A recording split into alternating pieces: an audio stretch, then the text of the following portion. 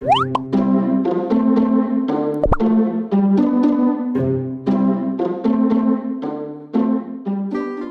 สดีค่ะ ชาวการคลับทุกคนค่ะ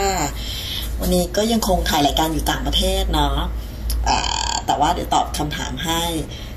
ทุกเรื่องเที่ยวเดี๋ยวการตอบค่ะก็ส่งเข้ามาฝากไว้ตามทุกช่องทางเลยเนาะแต่วันนี้ขอบคุณดีแท็กโกด้วยค่ะ เพราะว่าเน็ตสะดวกมาก ใช้ซิมเดิมเลยตั้งตั้งแต่ตอนที่อยู่เมืองไทยเบอร์เดิมซิมเดิม มาเมืองนอกก็ยังใช้ซิมเดิมเรียกว่าสะดวกสบายไม่ต้องเปลี่ยนเบอร์เปลี่ยนซิมอะไรทั้งสิ้น เขาให้ใช้เน็ตเมืองไทยเยอะแถมให้ใช้เน็ตเมืองนอกฟรีอีกค่ะ ไปเลยนะดีแท็กโกเอามาตอบคำถามคุณ JR คุณ JR ถามมาพี่กาญครับผมมีทริปไปบาห์เรน 13ถึง17 แล้วกะว่าเดือนอะไรเนี่ย อ๋อแต่น่าจะยังทันอยู่แล้วกะว่าจะเที่ยวต่อประเทศใกล้ๆสัก3ถึง5วันอยากจะขอคำแนะนำจากพี่ว่าไปไหนดี คือเขามีเลงจอแดนไว้เหมือนกัน เขาเขียนไว้นี้เลงจอแดนเอาไว้ อะ เดี๋ยวมาดูว่าจะมีที่ไหนกันบ้าง คือถ้าบ้าเลยสิบสามถึงสิบเจ็ดแล้วเลงมีเวลาอีกสามถึงห้าวัน จอแดน จอแดนโอเคสามถึงห้าวันอะไปถึงเพตราได้สบายๆเลยอะเพราะว่า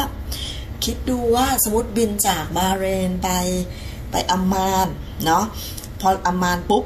ยิงยาวไปเลยจ้ะเอาแวะเดซีหน่อย แวะลอยตัวที่เดซีสักนิดนึง พอลอยตัวที่เดซีเสร็จ ก็ถ้าเวลาน้อย หรืออยากใช้เวลาที่เพตราเยอะ ก็พุ่งไปที่เพตราเลย คือถนนดีมากๆ พอไปถึงนั้นนอนที่เพตราสมมติสมมติอ้อยอิ่งลอยตัวใน Dead Sea เสร็จไปถึงค่ำใช่ไหมนอนค่ำคืนหนึ่งก่อน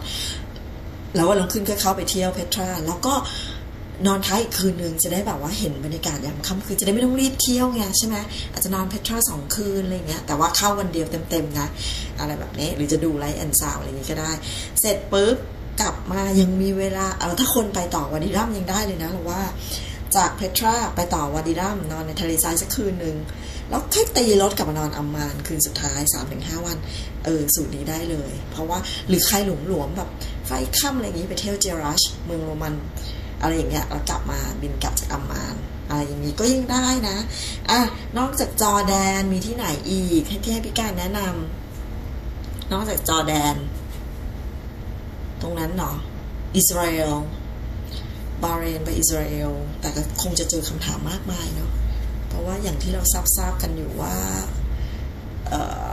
อิสราเอลจะไม่เป็นมิตรกับผู้คนในละแวกนั้นอะไรเท่าไหร่ ถ้ายิ่งบินจากบาเรนไป เราก็อาจจะยากนิดนึงอะมีที่ไหน อียิปต์เอออียิปต์สามถึงห้าวัน บินไปไคโร บาเรนไปไคโร ไคโรเสร็จปุ๊บเที่ยวไคโรเสร็จบินต่อไปลักซอไปเที่ยวลักซออัสวานแค่หย่อมนั้นอะสามถึงห้าวันพอดีเลยแล้วก็บินกลับไคโร เออ อียิปต์ได้ จอแดนได้ ตุรกี อิสตันบูลไง อ่าอิสตันบูลเสร็จโอ้โหถ้าไปเที่ยวลูปอื่นมันจะยาวมากเนาะอาจจะอิสตันบูลแล้วลงมาเอเฟซุสอะไรพวกฝั่งเนี้ยอาจจะได้หรือจริง ๆ ถ้าเกิดอิสตันบูลเสร็จแล้วปุ๊บไปไปคาปาโดเกียเสร็จแล้วกลับเลย อันนี้ก็ก็อาจจะทันก็อาจจะทันสามสามถึงห้าวันทันได้เหมือนกัน หรือ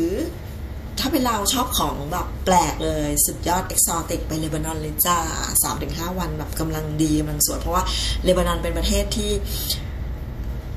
เออไม่ใหญ่มาก เราสามารถ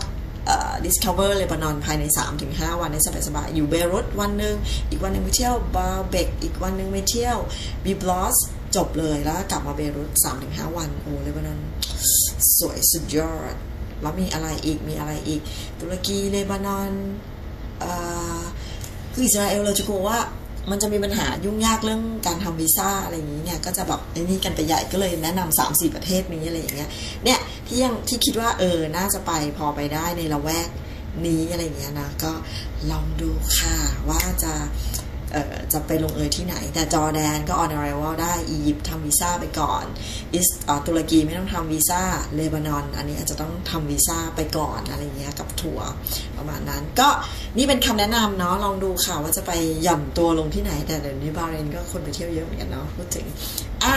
ฝากคำถามไว้ได้แบบนี้ค่ะในทุกช่องทางเลย Instagram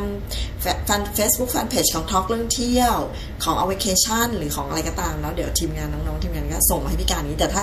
Instagram ก็จะ direct ถึงพี่เลยอะไร